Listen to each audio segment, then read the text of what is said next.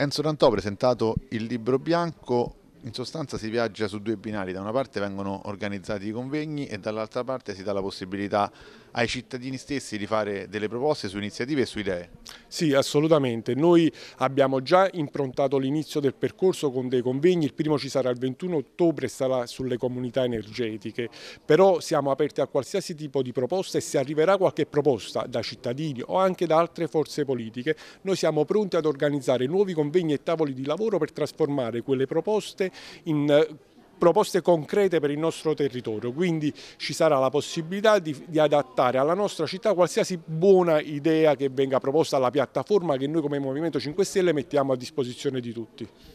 È una, un progetto trasversale, possiamo dire così? Assolutamente, non è un progetto per il Movimento 5 Stelle, ma è un progetto per la città di Civitavecchia ed è per questo che noi abbiamo invitato tutti, ma veramente tutti, a partecipare a questa iniziativa perché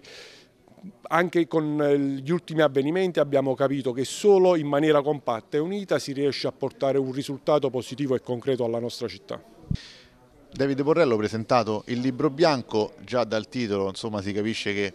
si tratta di uno spazio ancora da riempire con idee e progetti per Civitavecchia. Sì, infatti è proprio così, già dal nome Libro Bianco si capisce che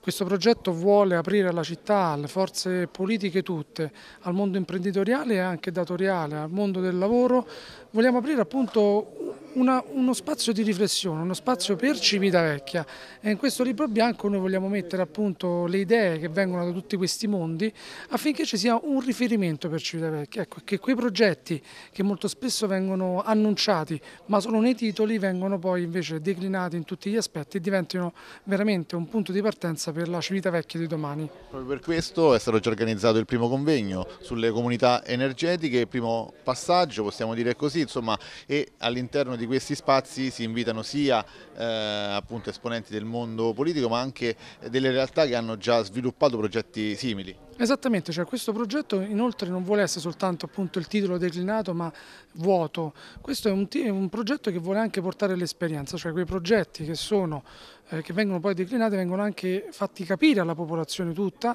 come vengono poi attuati veramente sul territorio. Infatti nel primo appuntamento del 21 ottobre parleremo appunto come detto di comunità energetiche e non porteremo soltanto una visione, grande, la grande rivoluzione che sta avvenendo in questo, in questo campo, ma porteremo anche un esempio che sono delle comunità comunità esistenti che stanno nascendo, in particolare porteremo l'associazione eh, Procita Carbon Free che pronto ci parlerà appunto di come si declina questo progetto realmente sul territorio.